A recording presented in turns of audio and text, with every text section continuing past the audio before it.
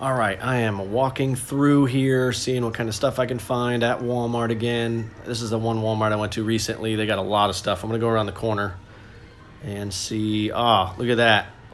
Right there in front of my face, two brand new He-Man Masters of the Universe vehicles, and we will check those out. Please also don't forget to hit the subscribe button. It's always appreciated, and here we go. Rug Time Toys! All right, we will start with Skeletor, probably last, so we'll save him best for last. I say the best. Here is Masters, or yeah, Man at Arms Sky Sled. And each one of these Masters of the Universe figures has a little power attack it shows. Really cool color scheme. The blue, it's like a turquoisey blue almost, and orange wheels. That's pretty sweet.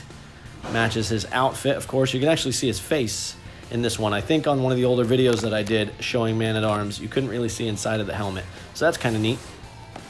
Flip it around. Get a good look at him on his bike. Store battle accessories on the bike. Or I should say sky sled. Pull and release to do his power attack. Almost looks like he'd do it in two ways. There's the He-Man one. All right, now we will check out what I've been waiting for. Let me move this, actually. And I can, uh, yeah, that's the one I did earlier in another video. So let's put him up here. He-Man, Masters of the Universe, Skeletor. And here's his vehicle named Painthor. Oh, that's kind of a cool twist on Thor. So Painthor. Then there's his power attack with the staff. He is pretty intimidating looking. They did a great job on that one. I like that like dark purple, looks evil. Then you got the green, lime green wheels. Look at that thing's face. Painthor.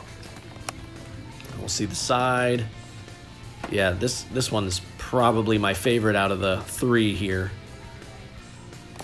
Very cool looking. Wow. We'll get a uh, forward facing look on them right here.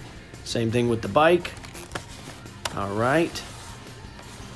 And then flip it over, get a good look at it from this side.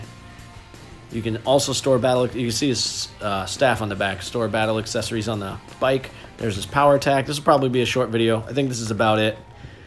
Uh, I'll probably do another one on those He-Man that I just saw up there. Please don't forget to like, subscribe, comment, do all that fun stuff. Tell me which one is your favorite. That one's mine, and I will see you on the next video.